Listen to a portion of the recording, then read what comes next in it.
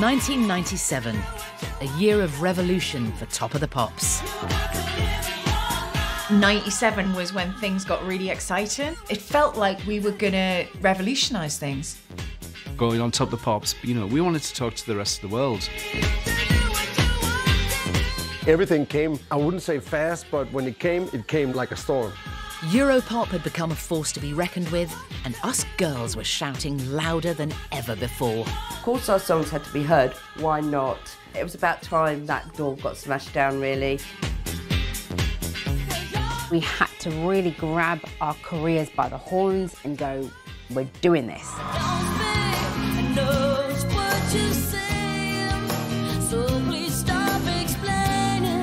The rule of Britpop was almost over, and anti fashion was the season's hottest trend. 1997 was just the most amazing year for music. 97 was eh, when everything started shaking loose.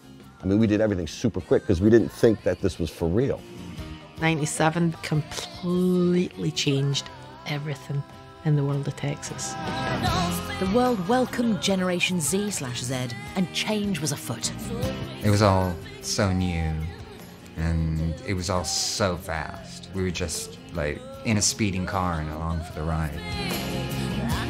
97 was a really important year because all of that juicy stuff that we have now, that was where it all started. And witness to it all was Top of the Pops. This needed to be the best party in the world happening in your living room every Friday night.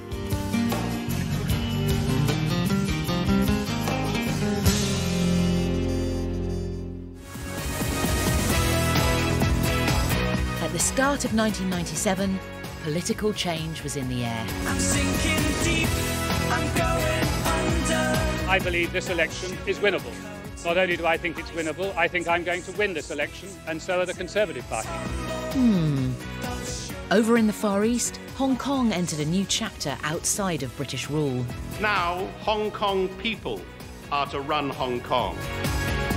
Supercomputers were getting ultra competitive. The computer Deep Blue has tonight triumphed over the world chess champion Gary Kasparov. And in a magical land far away, the Teletubbies had been born. Back here in Blighty, at the Cultural Coliseum of Elstree Studios, Top of the Pops had crashed through to 97 and was officially ready to go. Here making their Top of the Pops debut, we got Republica!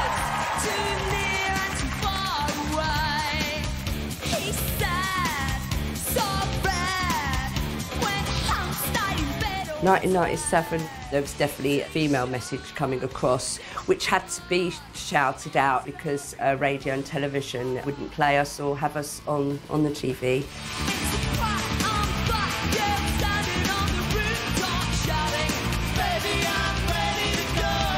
Republica are rare because it's a rock sound, although there are dance elements to it and there are pop elements to it. But with Saffron, you've got this amazing front person. And if anyone could start a band, get a record contract, and take their hit to Top of the Pops, it would be Saffron.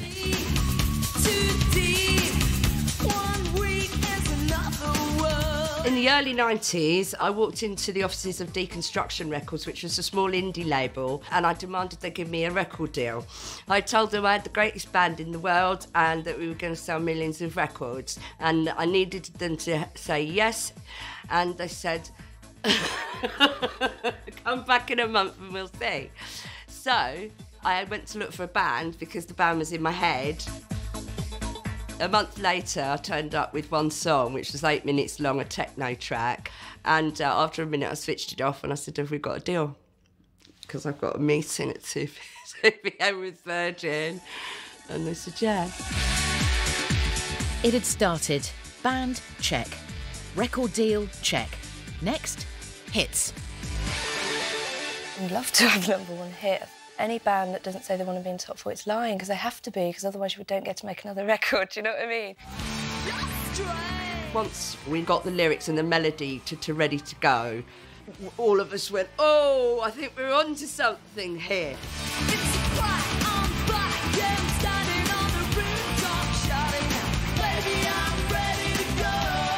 I mean, that song is absolutely massive. You couldn't get out of the house without hearing that song somewhere.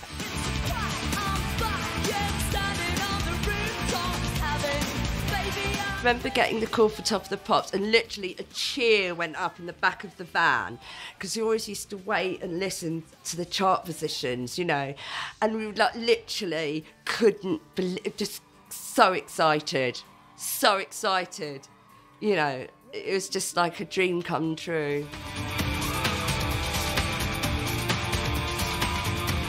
We were so excited because not only were the Spice Girls there, who all came up to me and said they were fans, you know, but Prince was there. Then he hit ya like a fist on the wall. Who's an all-time idol and inspiration. Gave us some permission. I just remember myself just like drop jaw at, at this extraordinary, you know, just uh, on another level of talent. Just like, wow. Taking America by storm with their second hit. This is Drop Dead Gorgeous Republica. Republica's rock themed fairy tale continued. And again, it all came from Saffron's imagination.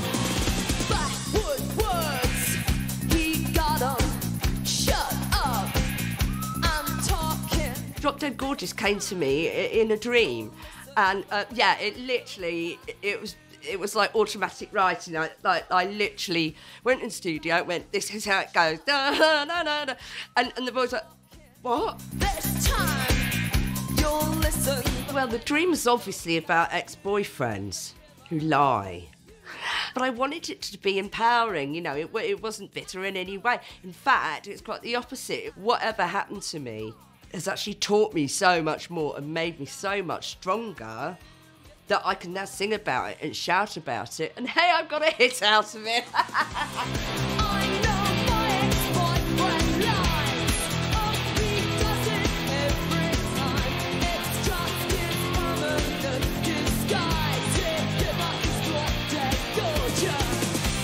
Republica had achieved back to back hits, and on the way, Saffron struck ruby gold with that iconic red hair.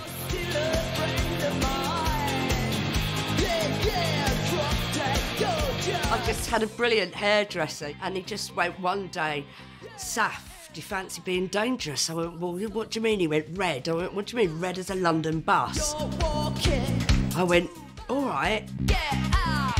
And within a few months, kids like literally running, screaming, uh, like it became very overwhelming, and I didn't understand it. All right, well done. Saffron, I had to say you're very popular in this studio. Oh, really? And there I was on TV, the girl with the red hair. But to me, it was like, yes, they've heard my song because they recognise me. That's great. Saffron looked like she came from the future. She put on her armour, and the armour was I am going to be this super person, almost a superhero, with red hair, sharp cut, just attitude.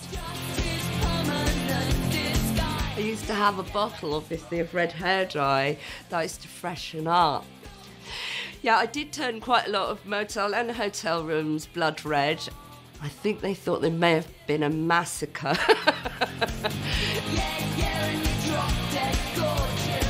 we were in Nashville, Tennessee on tour, and Wes Craven, the film director, phoned me, and he, he was like, Hey, Saffron, I really like your new song, Drop Dead Gorgeous.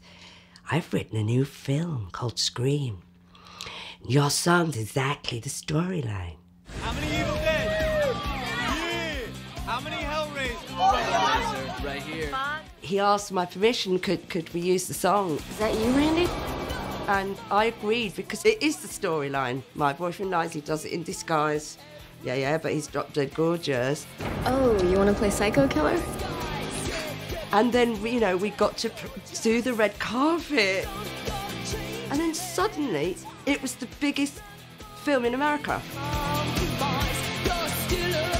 No one can ever foresee the life of Ready to Go, and indeed Drop Dead Gorgeous and quite a few of our other songs. But in my head, songs are immortal. They're like stars, they'll gone on forever.